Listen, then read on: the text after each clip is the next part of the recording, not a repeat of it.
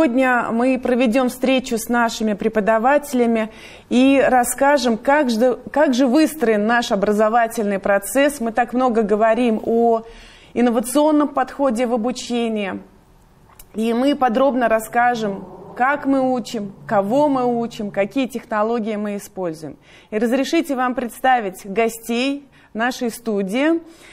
А, Максим Вячеславович Аршинов, технический директор э, компании Hightech Group, Hightech Group, наш э, преподаватель и руководитель направления .NET разработки. Здравствуйте. Ирина Сергеевна Шахова, руководитель направления мобильной разработки в нашем институте ИТИС. И э, наш э, магистрант, наш лучший выпускник и руководитель э, технологии лаборатории веб-разработки и Web Lab и Smart Education Артур Атнагулов. И я хочу вам представить нашего директора э, Института, да, Института информационных технологий и интеллектуальных систем Михаила Михайловича Абрамского. Успел. Успел. Спасибо большое, Ирина. Что, мы сегодня А, вдвоем? да, мы сегодня вдвоем будем вести. И э, хотелось бы начать с таких вопросов. То есть, какие же к нам студенты на первый курс поступают? Э, что сложного представляется в обучении наших первокурсников или вта- с других курсов ребят? Ирина Сергеевна, вы с самого начала ИТИС э, работаете в, нашей, э, в нашем институте, ранее высшей школы ИТИС, и э, в своей профессиональной деятельности уже видели многие поколения студентов. Что можете сказать? То есть какие студенты к нам поступают, какие у них особенности, чем сложности есть в работе и в обучении с ними, а может быть где-то легко вам что-то дается? Ну, как раз э, по той причине, которую вы отметили, Ирина Александровна, что я с самого начала работаю исключительно в ИТИСе, наверное, об особенностях студентов мне сложно говорить, потому что мне ну, не с чем сравнивать. Я не видела студентов других э, институтов, но могу сказать, что э, наши студенты, они всегда очень осознанные, то есть у них всегда есть какая-то точка зрения по любому вопросу, иногда она очень категоричная бывает, но э, при всем при этом они всегда готовы обсуждать и, в общем, э, к диалогу какому-то они всегда открыты. Вот. э, Сложностей, наверное, я не назову.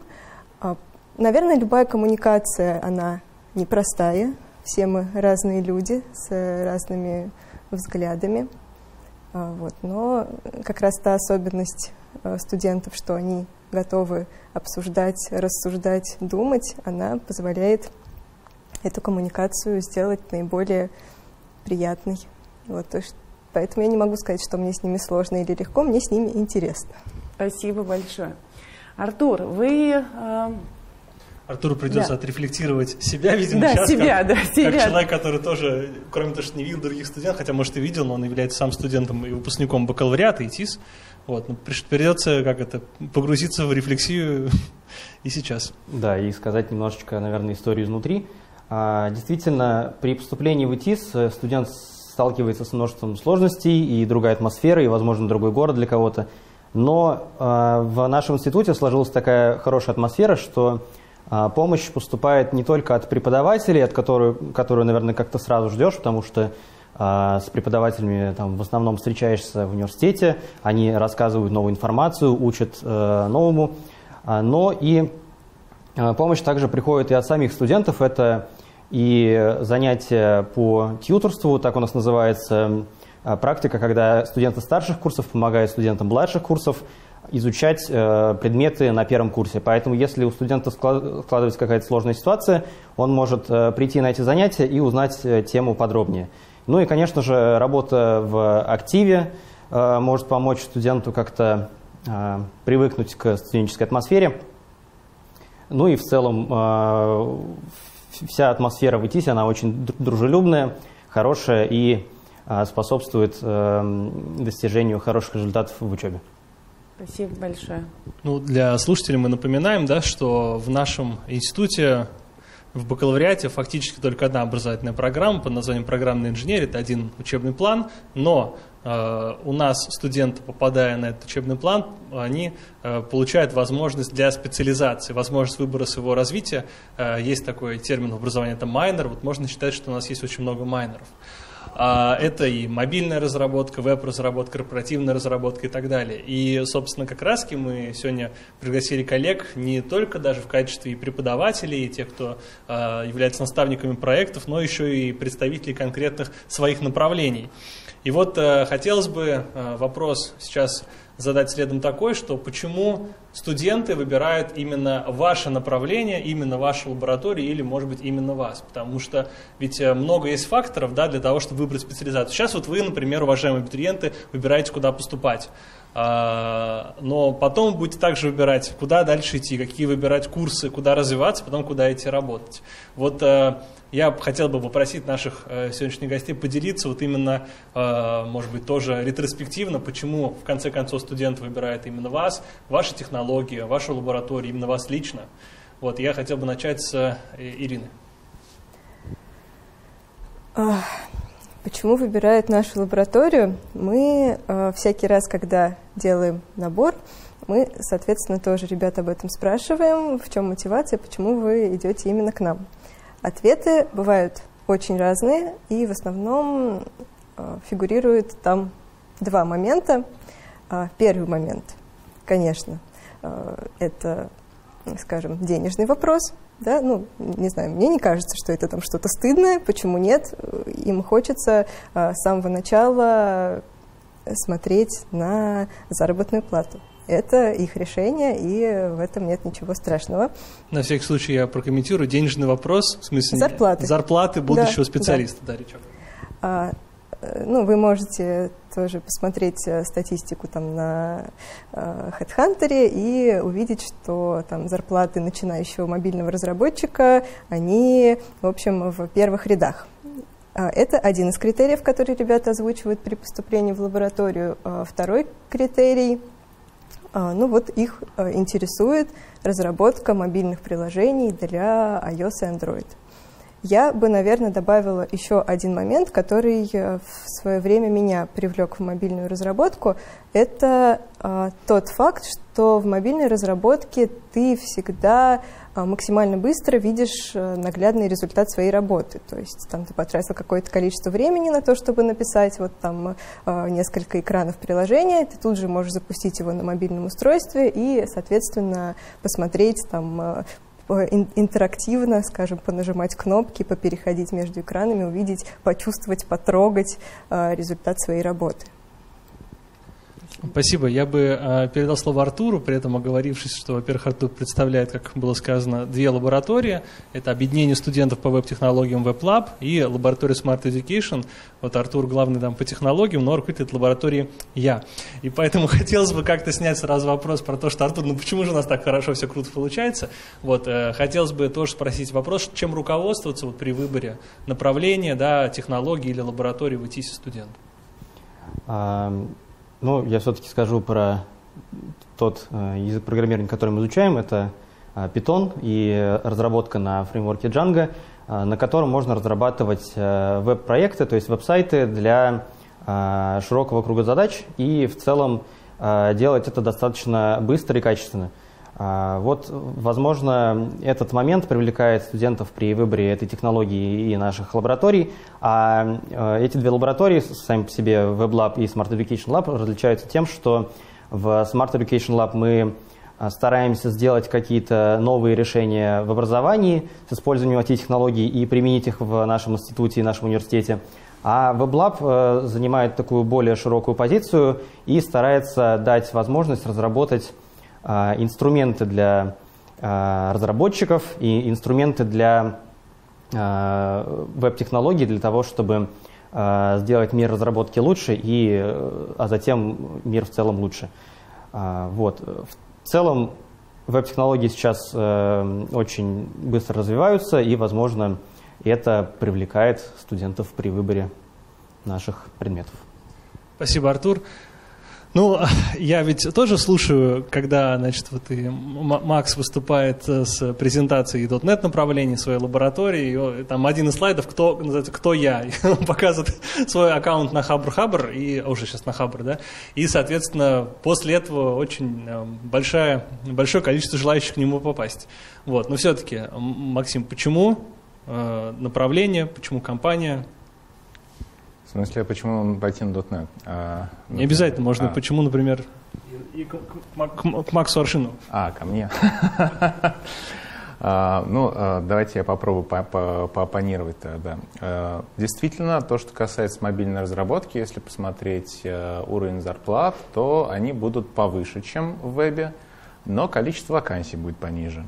А вот количество вакансий на C-Sharp и на Java, оно будет совсем повыше. Я по Python сейчас не скажу, а, давно не сравнивал, но точно будет больше, чем мобил. Так что это, ну, так, из прагматичных соображений, да, давайте тоже об этом поговорим. То есть, ну, здесь можно эти два фактора э, учитывать. Э, с точки зрения .NET, ну, э, лично у меня с ним сложилось во многом случайно, наверное, потому что когда я еще заканчивал школу, C-Sharp только появлялся как язык. Вот я тогда немножечко умел программировать на C++, сейчас я совсем не умею, тогда я считал, что немножечко умею программировать на C++. И кто-то мне сказал, ты знаешь, есть новый язык C-Sharp, и как-то вот меня с ним завязалось, и а, менять я уже не стал. А, а ну, так как приходилось как-то развиваться, что-то как профессионалу, то а, ну, в какой-то момент а, ну, появилась потребность учить других людей, появились какие-то статьи на Хабр тот же, потом, потом вылилось то, что э, появились какие-то конференции, на которых, э, э, на которых я начал выступать. Ну и, в общем, в мире .NET я действительно немножечко медийная личность сейчас такая. А с точки зрения опыт в образовании, он для меня был тоже очень интересен, как опыт ну, как бы из индустрии перенести в образование. Когда я этот процесс начинал, я, конечно, понимал, что это будет очень большой объем работы, но все равно недооценивал. То есть, э, ну, где-то, наверное, курс, я считаю, сейчас только устаканил, сколько четвертый год у нас уже идет, и вот через четыре года я считаю, что в курсе стало все на свои места, более-менее. Я в следующем году не буду больших каких-то перестановок, э, перестановок делать. Кстати, э, вот, ну, прошлом году мы перевели, получается, три или четыре доклада по многопоточному программированию, по устройству процессора. Кстати, я очень, я очень несчастлив, то, что этого курса нету где-то на первом курсе. Было бы очень здорово, что если бы устройство процессора рассказывал не я.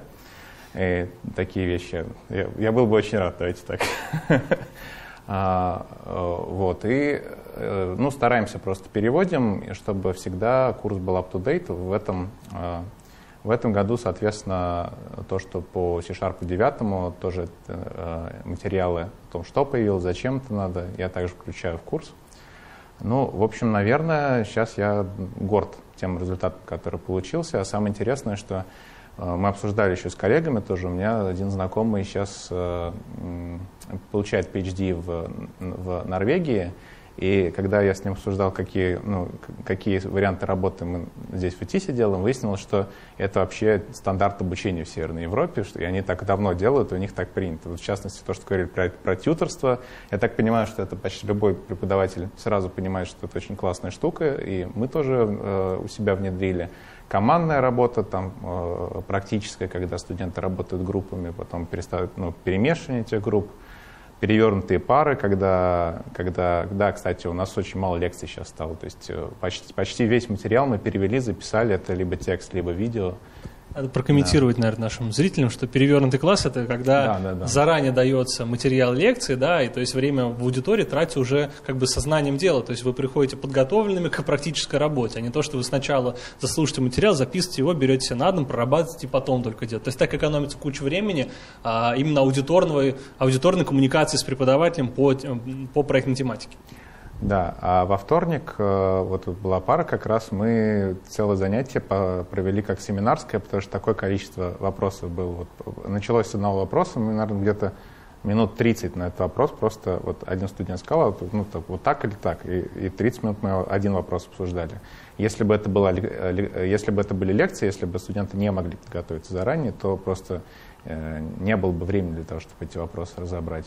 Ну и э, спасибо компании JetBrains, которая все еще не платит мне деньги за постоянную э, рекламу их продукции. Э, она предоставляет лицензии как студентам, так и преподавателям. Мы все это собрали в Ютреке, это система управления э, проектами. И теперь студенты вот на нашем курсе, они домашние задания сдают в качестве задач в Ютреке. Э, когда мы делаем групповую работу, мы делаем план проекта, это тоже в Ютреке.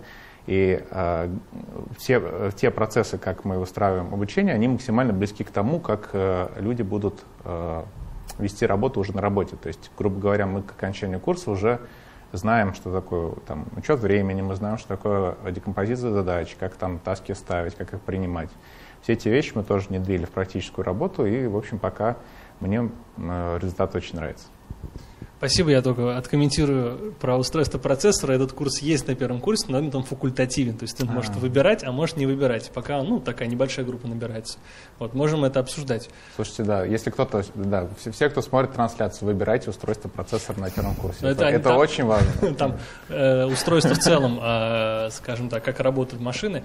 Вот. И э, на самом деле... Нет, я хотел просто в комментарии Максим сказать по поводу обучения. То есть, действительно, наша цель в целом на каждом курсе специализированно приблизить немножко к тому, э, к тому, как вы будете работать. То есть вы должны знакомиться с понятиями, как раз было сказано, это логирование времени да, на работу, это умение оценивать задачи, планировать проект. И вот как раз таки про JetBrains я тоже порекламирую. Большое спасибо за- образовательные лицензии, э, которые дают профессионал продукты нам бесплатно, э, и мы их можем использовать на занятиях. Вот у нас это дело массово используется и на курсах. И, кстати говоря, завершая еще э, пассаж про э, лаборатории и направления, как раз-таки напоминаю, что у нас в институте вы поступаете к нам с ЕГЭ математика, информатика и русский язык, то есть информатику вы сдаете, а математика профильная, но информатика, когда вы все уже сдали, перед началом семестра вы выбираете язык программирования для базовой информатики, на котором будете обучаться. У нас с года основания ИТИС, первый набор, это 11 год, у нас Java. В 2016 году мы в первый раз поделили на два потока, по- появился поток Java и поток .NET. И вот начиная с этого учебного года вот мы набрали первый курс, и это там был первый дебют Python потока, то есть по питону. Таким образом, сейчас на э, первом курсе у нас есть возможность выбрать себе первый язык программирования э, для изучения из трех. То есть это Java, а из которой уже, например, идет э, тот же самый Kotlin, который является сейчас очень э, известным языком в мобильной разработке. Это .NET, как раз таки, про который говорил Макс, это Python, про который говорил Артур. Я передаю слово, если еще вопросы. Я хочу еще продолжить, что ребята, э, когда поступают на первый курс, вот они делают выбор э, в пользу одного из языков основных, которые они изучают. Но э, в конце первого курса ребята уже слушают презентации тех специализаций, которые у нас есть. Вот э, наши коллеги, они представляют каждый свою специализацию. И тем самым они выбрав э, эту специализацию, у них на втором курсе выстраивается образовательная индивидуальная траектория через курсы по выбору. Э, В четвертый семестр, то есть это зимой э, второго курса, ребята еще выбирают, можно сказать, тоже как и проектный практикум у них появляется. Это практика, которая проходит вот в рамках этой специализации, либо лаборатории. И после первого курса также есть уже производственная практика, где можно попробовать себя в качестве там, Летом. То есть летом, да, летом после первого курса можете себя попробовать в качестве э, той или иной профессии, вашего направления, которое вас интересует. Ну, потом когда-то один раз э, вы смо- сможете изменить ваш выбор. Ну, вот ребята э, сделали выбор, например, в ваше направление, да, они э, получили определенный список курсов по выбору, э, с вами познакомились, с компаниями, партнерами, которые являются тоже участниками данных специализаций э, направлений. И как же выстроен вот образовательный процесс? Я знаю, что есть вот, э, проектный практикум, есть курсовые. Может ли курсовая перерасти в дипломный проект? И э, насколько, вот, может быть, сильно меняются тематики? Или вот, вот расскажите, пожалуйста, о ваших нюансах. Да и вообще, какие они Да, тематики и какие сами? вообще тематики, то есть какие темы дипломных работ ребята пишут, может быть, вы какими-то ребятами гордитесь, можете вот поделиться, рассказать. Конечно. Ирин. А, тогда начнем в хронологическом порядке. То есть мы со студентами начинаем работать, э, как Ирина Александровна отметила, с конца первого курса, когда в течение двух недель на летней практике они могут э, попробовать э, мобильную разработку, попробовать посмотреть, насколько им это нравится или не нравится, чтобы понять, хотят они в дальнейшем продолжить с нами взаимодействие на последующих трех курсах или не хотят. А, соответственно, на втором курсе они начинают Э, изучать особенности мобильной разработки в зависимости от того направления внутри лаборатории, которое они выбирают. Это э, iOS направление или Android направление. Сейчас э, у нас вот два направления. Мы обучаем так называемой нативной разработке. Я не буду, наверное, в нюансы того, что такое нативная разработка. Не, почему? Вникать. Давайте войдем. Почему нет? Ну, то есть это ну, вполне есть... нормально для наших слушателей, которые, в принципе, выбирают. Они тоже, э, когда слышат про мобильную разработку, они спрашивают, а что именно. Поэтому можно уйти в нюанс. Мы тут уходим в нюансы, нормально. А, ну хорошо, нативная разработка, то есть есть нативная разработка, есть кроссплатформенная разработка. Кроссплатформенная разработка заключается в том, что вы, скажем, пишете один и тот же код, который э, у вас э, запускается и на Android-устройствах, и на iOS-устройствах. А нативная разработка предполагает, что вы пишете код исключительно для одной э, операционной системы. Это либо там Android, либо iOS. А, так вот, мы изучаем, значит, нативную разработку, а, мы привлекаем практикующих разработчиков iOS или Android, э, соответственно, для проведения занятий в нашей лаборатории, потому что нам очень важно э, максимально актуальные технологии давать. Технологии очень быстро меняются, то есть мы, вот я работаю почти 8 лет в ИТИСе, мы начинали э, преподавать сначала, это был язык Objective-C для iOS направления и язык Kotlin для Android, ой, язык Java а, для Android направления. Сейчас все кардинально поменялось уже. Несколько лет мы там преподаем язык Swift для iOS и язык Kotlin для Android соответственно. Вот. А, и, соответственно, для того, чтобы нам а, максимально быть всегда в тренде, понимать, какие технологии, какие там фреймворки, библиотеки и так далее используются, занятия у нас ведут представители индустрии. И, соответственно, после первого семестра изучения начинается, продолжается и изучение тоже, но начинается еще и практика. А, на практику мы сейчас тоже привлекаем компании партнеров. В частности, сейчас у нас курирует практику на втором курсе компании «Технократия», наши любимые. И, кстати, на первом инсталайфе в таком формате был э, один из представителей компании, управляющий партнер, э, значит, Булат Ганиев. То есть можно посмотреть предыдущие выпуски. А, вот, на третьем курсе у ребят все еще продолжается изучение. А, в рамках практики они, соответственно, занимаются разработкой а, мобильных приложений. То есть эта практика у них посвящена тому, чтобы они применили все те знания, которые они получили на занятиях на втором курсе, а, в разработке собственных индивидуальных мобильных приложений от идеи, которые они предложили, до, соответственно, готового мобильного приложения. И в этом им помогают а, их кураторы из компании партнеров.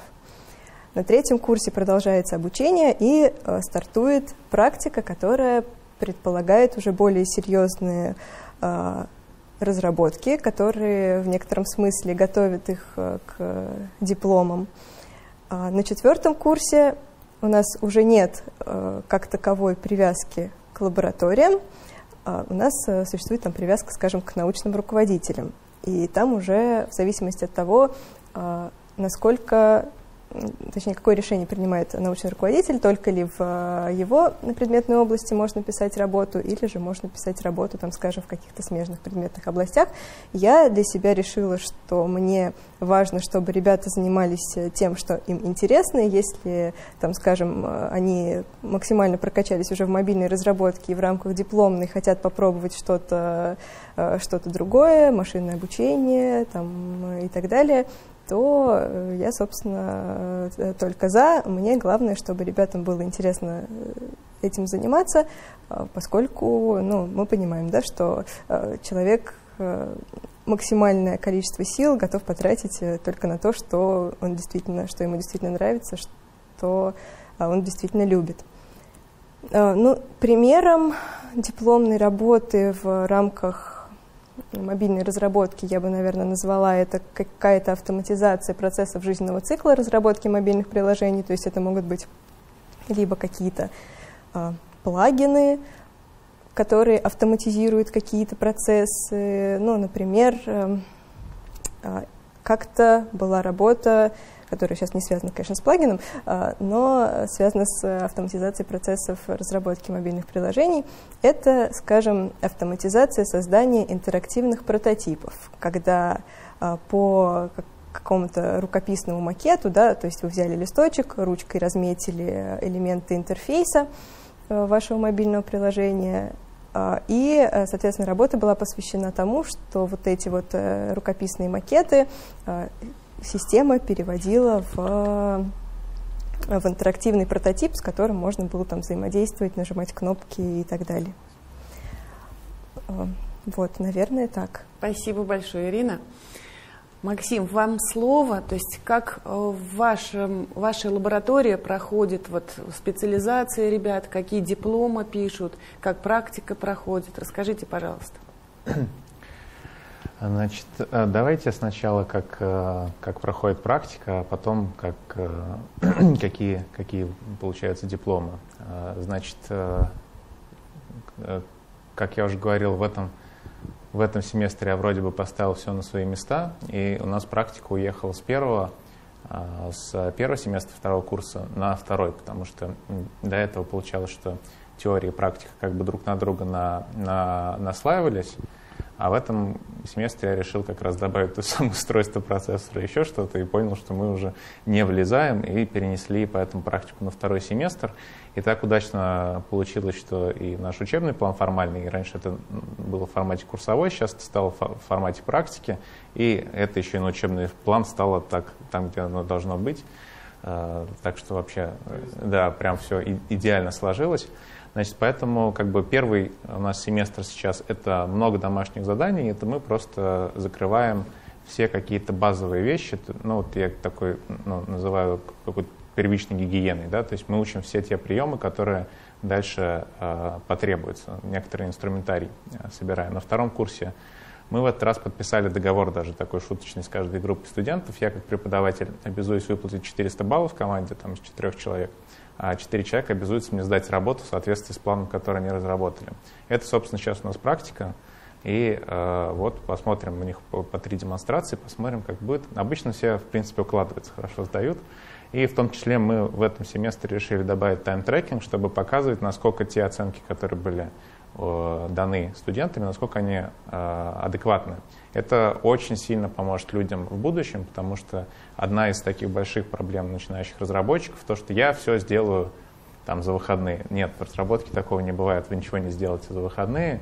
И лучше это прочувствовать в, на, на время, за время учебы, насколько на самом деле сложно может оказаться то, что кажется очень простым, чем потом э, ну, это выльется в бессонные ночи, в какие-то сорванные э, дедлайны или что-то еще. На, э, на третьем курсе мы то, что делали на втором, придется заспойлерить, конечно, но, в общем, половину того, что, э, того, что сделал, надо будет переделать по-другому. Вот, потому что мы добавляем на третьем курсе еще немножко JavaScript, поэтому фронтенд мы переделаем на JavaScript. И если все будет э, нормально, то мы немножечко позанимаемся той самой кроссплатформенной мобильной разработкой, потому что на .NET у нас есть э, Xamarin. И, ну, конечно, мы не претендуем, мы не позиционируем себя как э, курс мобильной разработки. Это такой небольшой там, взгляд со стороны, что мы на .NET можем сделать и так. И, и то, что мы делали со второго курса, э, мы переделываем, используя другие технологии. Но если какая-то группа студентов говорит, у нас есть тоже какая-то идея, которая укладывается в то, что, ну, в технологический стек, то тот образовательный проект общий мы можем отложить и давайте делаем также то, что вы хотите, вашу идею. Главное, чтобы, э, чтобы мы э, также научились пользоваться инструментами, научились пользоваться э, там, JavaScript, чтобы была какая-то мобильная небольшая веб-мордочка, которая общается с веб-сервисом. Так что так. То есть к концу обучения таким образом у студента уже есть некоторый кругозор, и дальше я здесь солидарен с тем, что не так важно, куда он пойдет именно писать диплом, важно, чтобы студенту было это интересно, а дальше он может уже свои эти навыки применять, то есть да, сделать какую-то автоматизацию, э, может быть что-то, что помогает разработке. Вот один из дипломов был, мы дописывали набор анализаторов э, э, кода, ну так, чтобы тебе среда, в которой ты работаешь, подсказывала, где ты ошибся, грубо говоря. Таких анализаторов уже очень много, но до сих пор есть определенные классы ошибок, которые просто ну, ни у кого руки не доходят, вот мы взяли дописали. Бывает, что автоматизируются какие-то бизнес-процессы тоже. Тогда есть э, акты о внедрении на предприятии таких дипломов. А, что бы мне хотелось, что мы не можем сейчас делать по ну, ввиду ограничений от, из, от Министерства образования, было бы очень здорово, если бы мог бы быть большой групповой диплом на несколько студентов, потому что тогда можно было бы делать принципиально более масштабные задачи. Сейчас это, к сожалению, невозможно, но э, если вдруг поменяется законодательство в сфере образования, я буду это приветствовать очень активно. Ну, на самом деле, Подвижки к этому есть, потому что сейчас обсуждается такая концепция, носящая интересное название, диплом как стартап. И есть mm достаточно разные точки зрения по этому поводу. Вот. Но тем не менее, если это где-то начнет внедряться активно, то это официально, то это будем именно мы, потому что у нас они возникают именно в разрезе технологий. Потому что, скажем так, в качестве диплома стартап в виде там магазина, который что-то продает, он нами принят не будет, потому что по уровню компетенции он не подходит. Но вот если это стартап какой-то в области разработки, то, в принципе, это обсуждаем. И там как раз-таки могут возникать командная э, разработка, но это, вот, повторюсь, этот формат на этапе обсуждения mm-hmm. находится. Спасибо большое. И я передаю слово Артуру, и зная, что вы также э, являетесь ведущим э, проектной школы для студентов первого курса, может быть, тоже расскажете о принципах работы этой проектной школы и э, что ребята делают в лаборатории, какие у них проекты, какие у них дипломы, меняют ли ребята свои темы дипломных работ. А, вот э, уже говорилось про проектный практикум, про практики и в компаниях, и на, в течение учебных занятий. А, и чтобы студента ко второму курсу как-то подготовить к этой деятельности, чтобы показать, как, э, как происходит работа в проекте, а, на первом курсе была запущена проектная школа, она шла в ходе летних, ой, зимних каникул, в которой ребята объединились в команды и попробовали создать свои э, какие-то проекты в сжатые сроки за неделю, э, создать какой-то свой продукт. Это были телеграм-боты, мобильные приложения и веб-сайты. И цель была такая, чтобы студенты поняли, как именно работать в команде, потому что информатика на первом курсе, она строится вокруг изучения теоретических основ, Э, вокруг изучения языка, э, работы компьютера и вот таких общих закономерностей и не дает понимания, э, как работать в команде и как потом в дальнейшем взаимодействовать с другими людьми. Вот. Значит, проектная школа прошла, были сделаны несколько проектов, около 10 проектов, и теперь тоже в, в рамках факультативного курса первокурсники могут выбрать еще и а, введение в проектную деятельность. Это специальный предмет, на котором продолжится та, та же самая работа, только уже в течение а, второго семестра первого курса. И в дальнейшем а, это поможет ребятам понять, как работает команда, как работает разработка в команде и выбрать какую-то специализацию для себя, уже имея небольшой опыт в ней. Вот. Если говорить про дипломы, к сожалению, я не могу э, рассказывать у них с тем э, багажом опыта, который есть у моих коллег, но э, также э, хочется отметить э, диплом студента э, Ирины Сергеевны про э, э рисование макета мобильного приложения на бумаге. Потому что в предыдущем году у нас, э, как и все в мире, происходило онлайн, и мы имели возможность посмотреть э, защиты дипломов не только своей группы, но и коллег из других групп, и это действительно была хорошая работа. Ну и также, с вашего позволения, наверное, расскажу про свой диплом, потому что в рамках которого я получил действительно много нового опыта и много новых знаний. А мой диплом был посвящен тому, чтобы ускорить разработку студенческих приложений и внедрению их в университетскую инфраструктуру. Когда студент пишет проект в рамках учебных занятий, в конце иногда возникает такая проблема, что у него нет возможности подключиться к каким-то университетским сервисам и а, запросить дополнительную информацию, как-то взаимодействовать с этой информацией.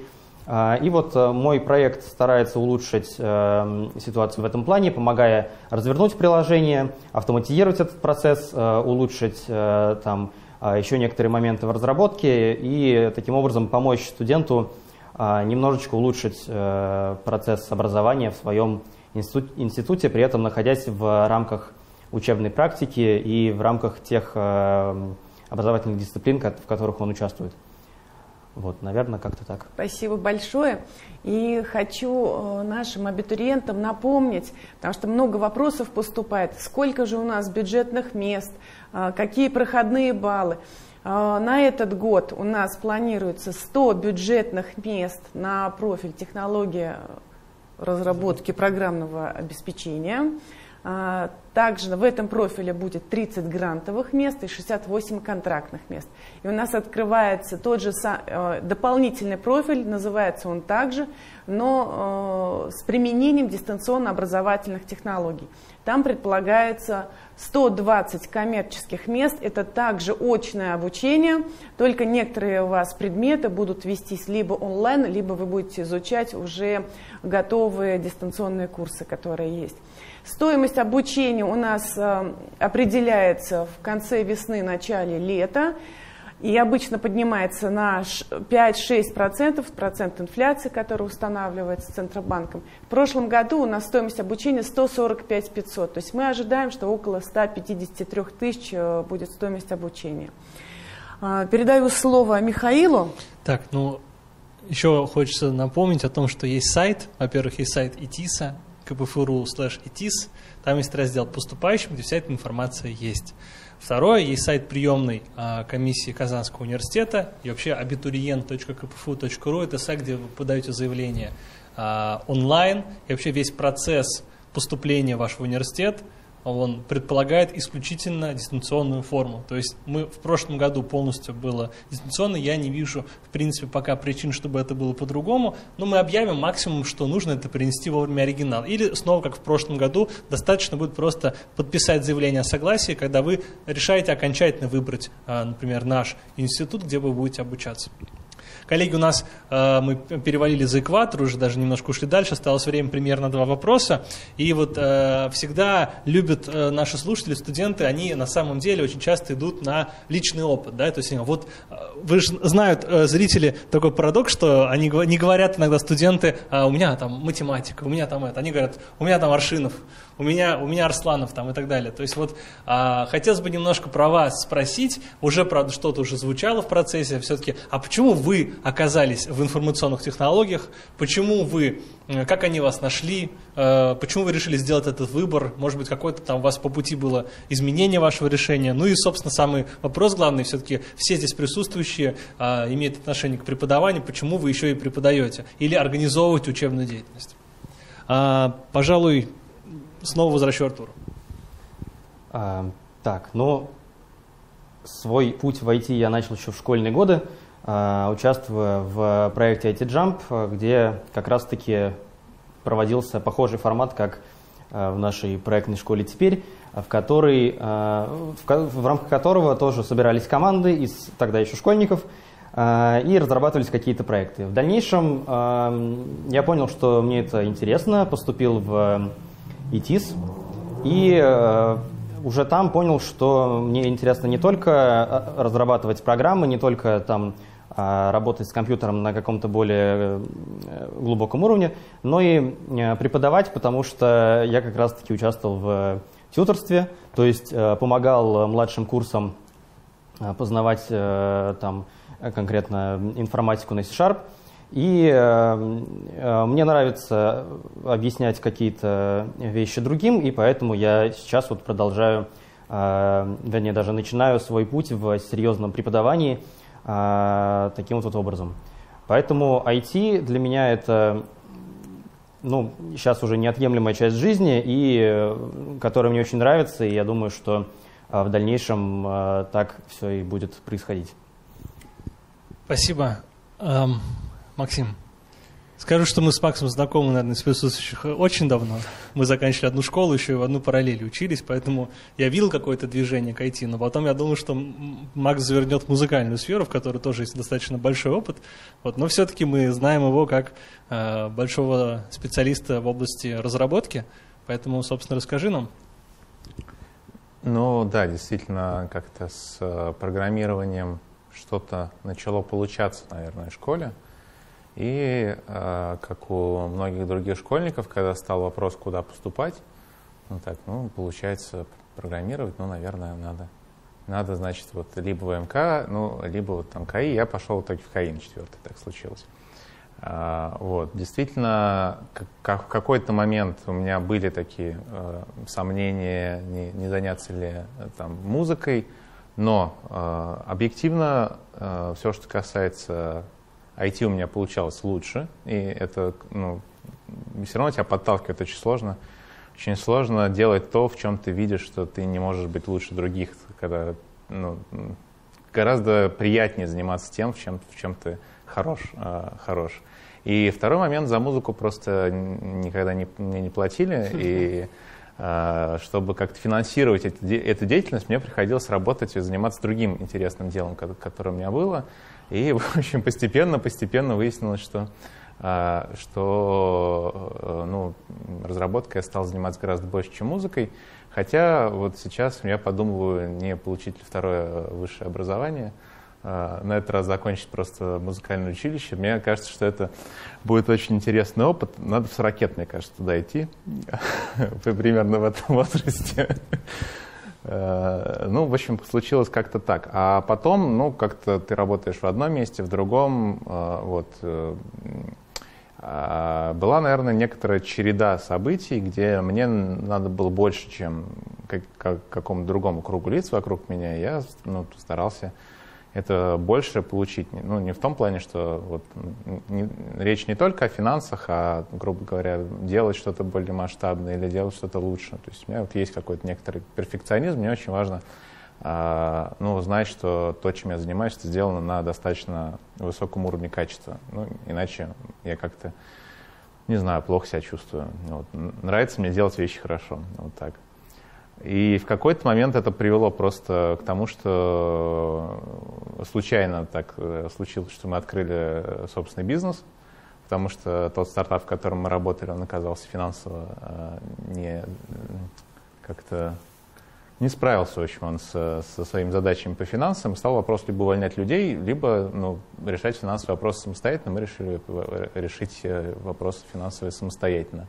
А потом в какой-то момент кадров стало очень сильно не хватать, и мы решили попробовать, а что если мы э, будем учить людей, и таким образом э, кадров станет больше. Я вообще думаю, что эта ситуация с кадрами, она, мы еще не на дне. Я думаю, что мы вот на дно погрузимся через какое-то время, когда с айтишными кадрами будет э, совсем все плохо. И ну, вот такие, такие симбиозы бизнеса и образования – Видимо, это то, как э, будет выглядеть вообще образование в России, наверное, в мире в ближайшее время. Я вообще думаю, что, видимо, образование станет полностью платным, как это в США, например. В эту сторону сейчас все движется, и просто объективно по-другому очень сложно обеспечить качественное образование. Вот называли сейчас стоимость обучения. Я приятно удивлен такой низкой стоимостью обучения. Когда я э, считал, сколько можно сделать вот техникум, даже не вуз, а техникум, в котором будут готовить каких-то айтишников, у меня получалось, что стоимость обучения, чтобы это было качественно, ну, где-то полмиллиона в год. Это вот, ну, если ужаться везде, очень дешево сделать, у меня получалось на коленке полмиллиона. Я подумал, не, это, это все гиблое дело. То есть это, это должно, образование все-таки должно быть государственным, ну, частно-государственным как-то, но без э, доли государства это невозможно сделать. Так что те, кто поступают сейчас, у вас прям очень отличные возможности. Это, если вам кажется, что это дорого, это на самом деле дешево. И дальше, я думаю, что будет сложнее. Так что, ну, такая идея. Спасибо. Как ни странно, тут э, про музыку почему-то добавлю, что понравилась идея, во-первых, то, что вот э, сказали, сказал Максим про планы, но вообще учиться вообще никогда не поздно, потому что все здесь присутствующие так или иначе переучивались в течение своей жизни чему-то. То есть вот все буквально, даже мы с Ириной, вот, и коллеги, мы все после окончания университета чему-то переучивались. То есть технологии, например, которые в том числе я использую на занятиях, я их не знал, когда закончил университет, потому что у меня был другой профиль в образовании. Вот, поэтому это не страшно, и к этому надо быть готовым. Ну и вот есть такая шутка тоже у меня, что все, все сидящие имеют отношение к музыке, потому что, значит, вот Максим участвовал в том числе в одной известной, по крайней мере, в Казани группе. Значит, Артур у нас был звукорежиссером какое-то время, Четыре года? Все четыре года? Нет, я хотел еще добавить, что а, мое знакомство, такое непосредственное знакомство с ИТИС началось на самом деле на хакатоне в IT-парке в 2014 году, где Михаил Михайлович Абрамский э, с утра исполнял какое-то какое произведение на фортепиано. Ну да, это был IT-парк, это был хакатон, и был хакатон, который вот ты весь день и всю ночь, и с утра там почему-то стал пианино в эти парки, но вот и как-то как душа повела. Вот и Арина Сергеевна тоже имеет некоторый опыт участия в вокальных коллективах, коллективах, а, вот. Ну, это тоже командная работа, в конце концов. Иногда нам кажется так, что э, командная работа, команда делает многие вещи хорошо и в IT, и в музыке. Ирина Сергеевна, а, собственно... Да, помимо вокального да, коллектива опыт. еще 8 лет музыкалки фортепиано. Но нет, я никогда не задумывалась на самом деле о том, чтобы связать свою жизнь с музыкой. Э, для меня не было, э, вот у нас там, э, допустим, одногруппники боялись каких-то экзаменов. Для меня вот больше не было страшнее экзамена, чем экзамена в музыкальной школе, а особенно там какого-нибудь концерта в музыкальной школе, где ты один выходишь, стоит фортепиано, и там еще 500 человек в зале. Боже, нет, никогда. Я бы хотела, конечно, сказать, что там мой текущий выбор это э, осознанный и так далее, но на самом деле это какая-то череда случайностей. Э, выбирая факультет для поступления в свое время, это был там либо IT-факультет э, в частности, вот э, ВМК, либо лингвистический, то есть, ну, очень разные какие-то направления, хотя э, лингвисты могут со мной не согласиться, и я, наверное, согласна, что лингвистика и математика, они э, близки, в общем-то, в некотором смысле. А вот, но на самом деле IT-сфера, мне кажется, уникальная э, история. Почему? Потому что, ну, во-первых, понятно, да, что нет никаких границ э, в плане территориальности, то есть вы можете сидеть там с э, ноутбуком, имея интернет там в одной точке света, в другой точке света и так далее, но я хотела сказать о том, что здесь как будто бы нет границы предметной области, то есть там, не знаю, нейробиология, нужны IT-инструменты, э, искусству тоже нужны IT-инструменты. То есть фактически, э, будучи айтишником, как будто бы открывается возможность э, попробовать себя вообще в любой абсолютно предметной области. И, по-моему, это вообще совершенно потрясающая история. Спасибо большое. На самом деле сегодняшняя встреча очень душевная получилась. И вы рассказали не только об образовательном процессе в ИТИС, как вы работаете, какие наши студенты, но и о себе лично. Это еще мы с Максимом не рассказали, как мы выступали в школе на концерте одном. Ну ладно. Вот, спасибо вам большое за этот искренний рассказ. И буквально одно предложение – от вас как пожелание будущим студентам, что бы вы хотели пожелать? Вот одно предложение. Всегда желаю и абитуриентам, и студентам, которые приходят, а, пожалуйста, найдите то, что вам нравится, потому что это, это, наверное, самое сложное. Когда ты знаешь, что тебе нравится, ты уже можешь, скажем, что-то там планировать, а, ставить цели, задачи и так далее, двигаться э, в сторону своей цели. А самое такое Э, удручающее и страшное, когда ты не знаешь, что тебе нравится. И вот я бы пожелала понять, что вам действительно хочется, чем вы хотели бы заниматься. Спасибо большое, Артур. Буквально одно предложение, что бы вы пожелали абитуриентам? Старайтесь, э, просите о помощи, если она вам нужна, и стремитесь к цели, если вы ее уже нашли, а если еще не нашли, то обязательно находите и тоже стремитесь. Спасибо. Да, я сформулировал. Если вы думаете, что ваши родители безнадежно устарели и ничего не понимают, отложите эту мысль, вернитесь к ней лет через 10, возможно, вы поменяете свою точку зрения. Спасибо большое. Хотелось пожелать нашим абитуриентам, в принципе, заниматься своим любимым делом и выбирать то, что вам нравится, потому что поступать куда-то только потому, что вам а, так сказали, или вам кажется, что это будет перспективно, это не очень хорошо. Не разобравшись, вы себя можете обречь на неинтересную э, учебу, вам это будет, в принципе, не нужно, вы будете испытывать сложности, поэтому выбирайте направление просто с душой, чтобы в будущем вам нравилось то, чем вы занимаетесь. Я напомню название нашего направления – программная инженерия. Мы ждем вас летом. 090304, бакалавриат.